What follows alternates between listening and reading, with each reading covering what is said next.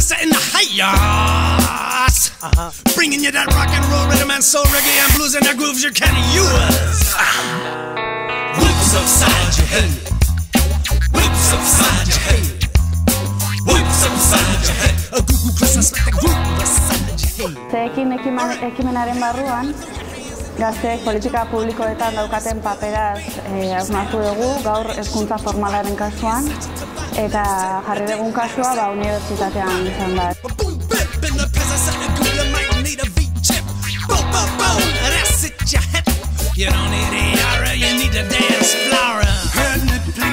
Adibidez, ba, gaurko ekimena eta roleplayina batez be, eh, erakutsi daitela eh, ba, zelan sentitu garen eta holan politikariak ikusi aldabe ba, ze, ze behar daukagun eh, gazteak eh, realitatean.